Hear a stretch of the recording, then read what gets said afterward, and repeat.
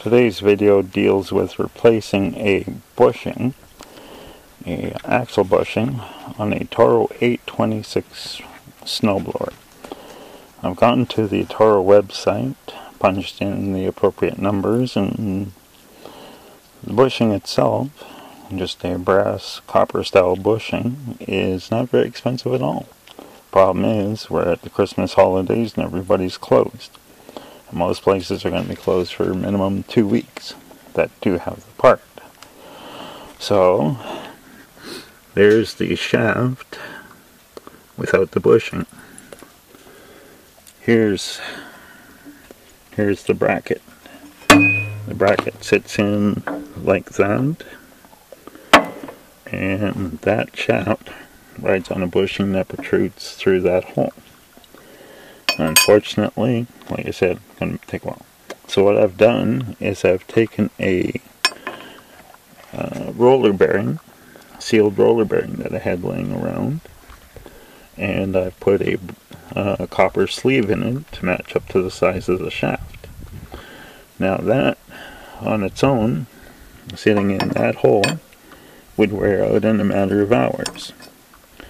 So what I've done is I've taken a piece of pipe, I've cut it to a little bit thicker diameter, oops, a little thicker diameter than what my bushing is, or uh, my bearing is. Now my bearing will sit inside there, it'll, I have to kind of press it in, and then once that's sitting proper, everything's in place, I'm going to tack weld this this piece here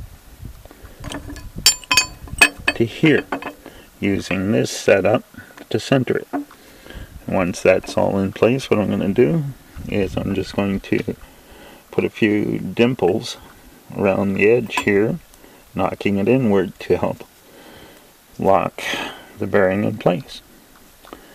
Very uh, quick well, not necessarily quick, but it'll be an effective repair that will last a lot longer than the bushing because it is a roller bearing.